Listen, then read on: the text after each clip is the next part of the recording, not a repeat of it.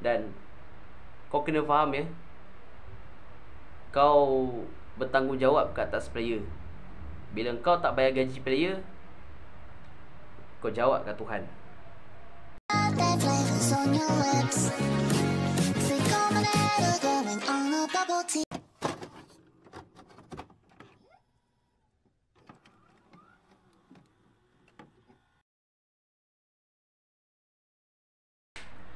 Assalamualaikum guys, welcome back to my channel Isobola God number one. Baby Apa khabar korang semua? Baik-baik kan? Hari ini guys kita nak membahas masalah yang sekarang berlaku di dalam Liga Super Malaysia sekarang ni.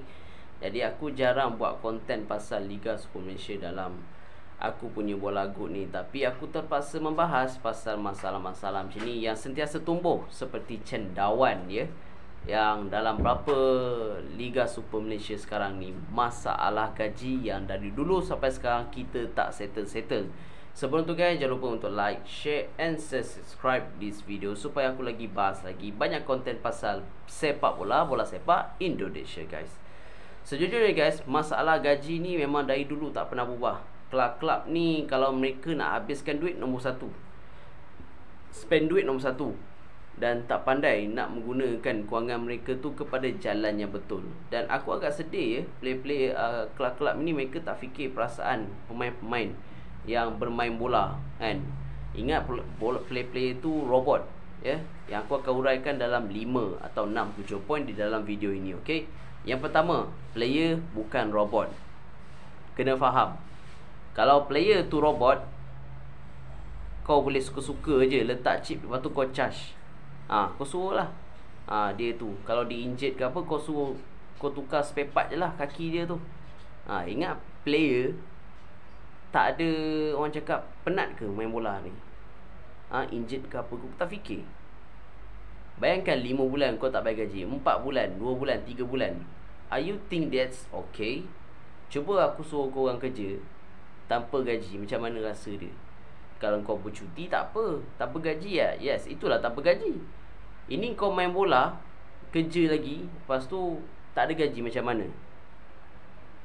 Nak tangan ni tunjuk Middle finger je. Ha. Apa ni? Kau tak fikir pasal player-player ni? Aduh. Yang kedua guys Diorang ada anak bini. Kau ingat player ni tak ada keluarga? Nak suap anak bini diorang tu Nak makan apa? Makan pasir. Kau orang tak fikir je Kau ni tak ada kemanusiaan Tu sebab player kelab-kelab pergi jadi T. Ha, Gaji banyak biarlah.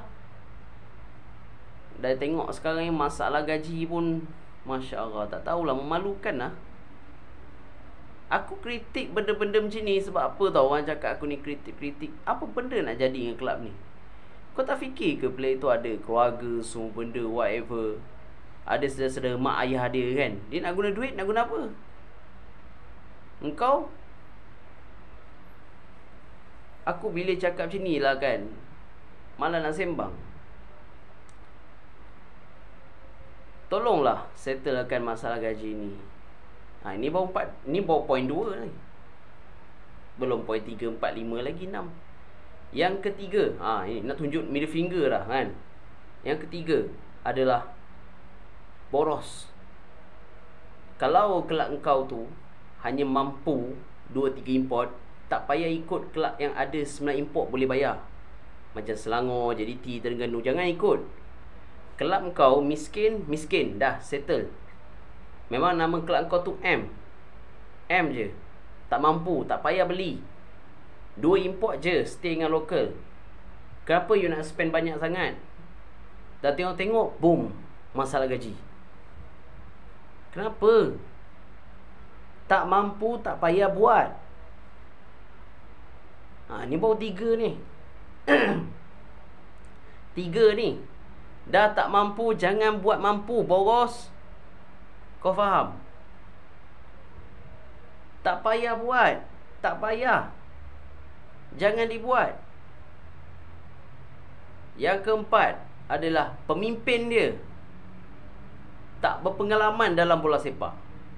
Itu sebabnya aku cakap dengan korang Pemimpin bola sepak is number one Kalau pemimpin kau tak pandai Dari dulu sampai sekarang Tak pandai urus bola sepak Maknanya memang Tak hancur lah kalau kau. Aku check info aku. Tak boleh buat apa-apa. Kau nak aku nak selamatkan tim kau Aku tak boleh cakap. Nak buat macam mana?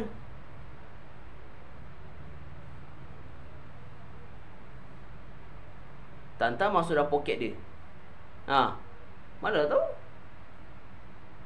Yang kelima. Fan-fan pun sama juga. Datang stadium pun tidak. Itu pun kalau diberikan tiket harga RM10, RM5 Itu pun tak tahu datang stadium ke tidak. Bayangkan Aku paling tak suka tau Dengan penyokong-penyokong kat Malaysia ni. Nak kena tiket murah Baru kau nak datang. Tak tahulah Memang pattern dekat Malaysia ni memang macam tu. Nak kena tiket murah RM5, RM10 baru datang. Cuba kalau tiket RM20 hmm, banyak komplainnya cakap tak mampulah apalah Tak tahulah.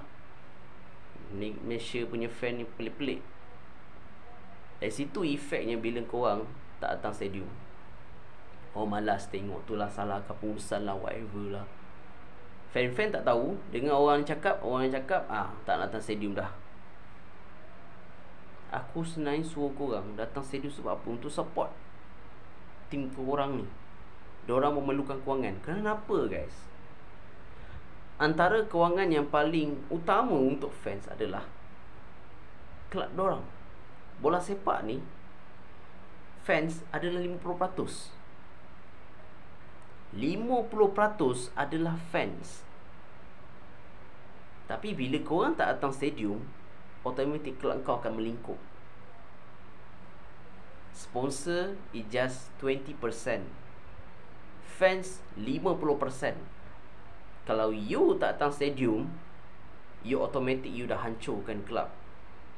50% ya. 20% sponsor. 30 tu pengurusan. Saya nak tanya Mana yang lagi strong? 50% ke 30% ke 20% Yes you gonna say 50% Sebab apa? Fans yang beli merchandise Fans yang datang stadium beli tiket fans yang beli makanan dekat stadium. Kalau stadium uh, kalau kelab ada buat apa-apa ke kan makanan ke apa kan macam Selangor ada buat makanan macam JDT ada buat makanan Terengganu pun ada buat makanan semua kan. Yes SS money is go to SS fans. 30 lepas tu beli jersey apa management.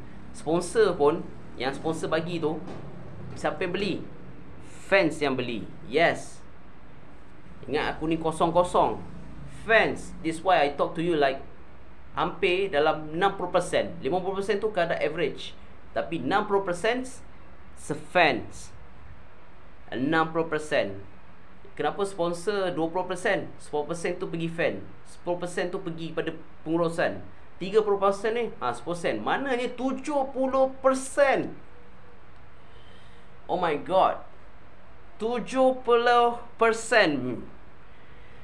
30%. Kalau you tak datang stadium, you destroy your club. Easy to say. Easy. 70% fans. Kau tengok Harimau Malaya, kalau 70% penyokong, yang ni orang cakap ya, Harimau Malaya, asal dia ceram macam ni, ceram macam ni, aku tak tahulah. 70% penyokong pegang. Harimau Malaya ke Skuad Harimau Malaya ke Kelab-kelab ke 70% Wow Mungkin korang terkejut kan? Itu aku cakap Penyokong is number one. Tak datang stadium You destroy your club. Easy. Dengan masalah gaji yang aku sembang ya, Aku tak nak sembang masalah gaji ni sebenarnya. Buat sakit hati aku je. Betul Buat sakit hati aku setiap hari Memang Aku tak boleh tengok bila player tak bayar gaji ni betul. Memang sakit hati aku. Sakit bona hati aku lah. Tak tahu nak cakap macam mana lah. Pandai-pandai korang fikir lah ya. Dan yang aku tahulah player ni ada anak bini. Nak perlu doang sumbat mulut doang makan. Dan kau kena faham ya. Kau bertanggungjawab ke atas player. Bila kau tak bayar gaji player, kau jawab kat Tuhan. Betapa dosanya kau. Kau macam ibaratkan seorang Israel lah. Kau tahu Israel? Ha negara tu negara tu. Itu kan negara tu. Tak wujud dah. Ha kau tak ada beza pun dengan tu ha. Dengan negara yang tak ada negara tu. Ha tu lah. Ha jangan disebut negara tu. Ha.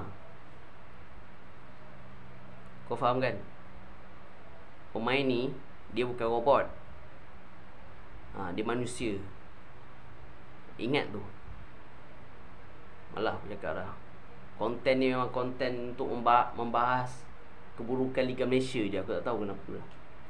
Baru mula Liga dah perangai macam ni. Semua sama je. Malah nak sembang dah. Hey.